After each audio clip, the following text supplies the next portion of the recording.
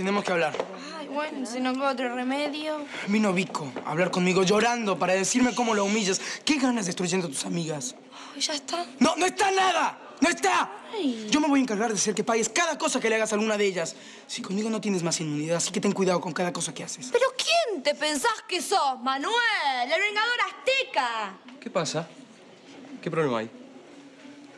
Nada, que esta chica no sé qué tiene con los extranjeros, pero se la pasa insultándome, se la pasa humillándome, me, me dice, sí, me azteca. En todo caso, estaré insultando a los pobres monitos mexicanos. Eh, cállese, por favor, señorita Colucci. Estoy escuchando al señor Aguirre. No, porque si, si tienen algún problema con los extranjeros en, en este lugar, está bien. Yo que hago, mando una carta a la embajada y que, que arreglen las autoridades No, no, esto, por pero yo favor. no estoy dispuesto a seguir soportando No, que no, me no, traten Aguirre, así. cálmese, cálmese un segundo, por favor. Usted tiene que pensar que no todo el mundo opina como la señorita Colucci. ¿Eh? Acá en este colegio siempre eh, se han recibido a los extranjeros con los brazos abiertos. ¿Eh? Bueno, entonces hágaselo saber a ella, porque parece que todavía no lo entendió. Colucci, termine con este tipo de cosas. El colegio ya tiene bastante problema para uno más. Profesor, es que, que ese chico está mintiendo. No, no, no tiene razón. ¿Usted quiere saber algo más de México? Mire, pídame ayuda a mí.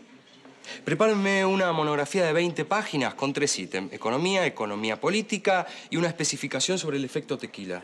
¿Eh? Me lo no, entrega mañana. Por favor, profesor, ahora en to- todos los exámenes trimestrales se lo pido, por favor, no llego a tiempo. Bueno, elija usted. O hace el trabajo o le pide disculpas al señor Aguirre. ¿De cuántas páginas dijo que era el trabajo?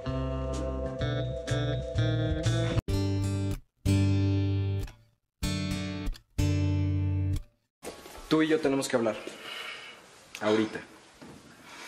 Bueno, pues si no hay de otra, nada más, por favor, medio metro para No, atrás. no, no, Estás no. ¿Sabes qué? Yo me siento, ¿eh? Bueno, Ya hablé con Vico, ¿eh? Y ya me dijo todo lo que le estabas haciendo. Bueno, Mía, ¿qué ganas con hacerle eso a tus amigas? mira, sabes que Miguel ya me da flojera y aparte no tengo por qué darte explicaciones. Ya, estoy hasta acá.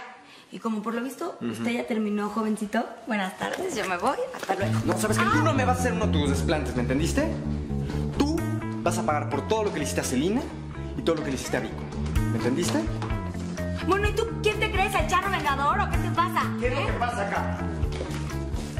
Pues mire, profesor, la verdad es que yo he sido muy paciente con esta niña, pero ella se la pasa insultándome que soy de Monterrey, que soy un charrito montaperros.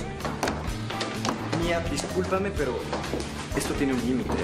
Y si sigues haciendo eso, yo voy a tener que hablar con la comisión. No, no. Perdón, no, profesor, perdón, pero No. yo ya, Tú tiene un tranquilo. Arango, por favor, tú tranquilo.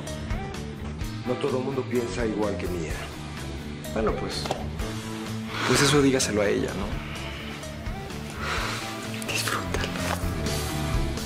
Con permiso, profesor. Pasa bien.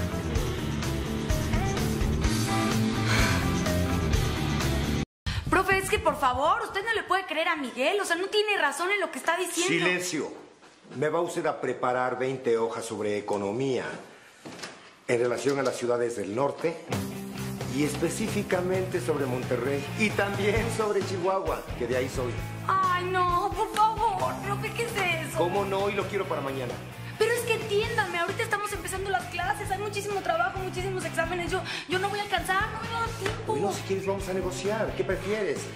¿Hacer la tarea que te dije o le pides disculpas a tu compañero? ¿De cuántas páginas dijo que era el trabajo?